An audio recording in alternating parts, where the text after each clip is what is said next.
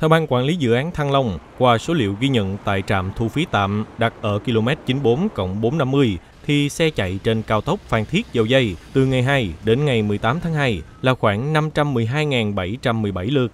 Chủ đầu tư cho biết thêm, xe chạy nhiều nhất trên cao tốc Phan Thiết Dầu Dây là ngày 13 tháng 2, tức ngày mùng 4 Tết, với khoảng 37.655 lượt, gấp 2,5 lần so với ngày thường.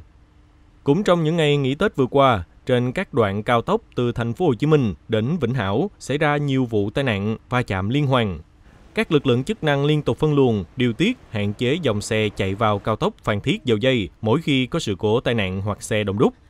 Các chủ đầu tư, nhà thầu dự án cao tốc từ Dầu Dây đến Vĩnh Hảo phải kêu cứu hai tỉnh Đồng Nai và Bình Thuận vì tình trạng mất trộm các thiết bị điện, dây cáp ngầm tại các nút giao. Theo các chủ đầu tư, tình trạng mất cắp thiết bị điện trên dự án rất lớn. Tại dự án cao tốc Phan Thiết Dầu Dây, nhiều đường dây cáp ngầm để chiếu sáng bị mất trộm, giá trị khoảng 7,5 tỷ đồng. Còn dự án Vĩnh Hảo Phan Thiết có nhiều nút giao không thể kịp chiếu sáng dịp Tết vừa qua cũng vì mất trộm dây cáp ngầm, nhà thầu không kịp xoay sở. Hai địa phương đã yêu cầu các lực lượng chức năng vào cuộc phối hợp với các chủ đầu tư làm rõ.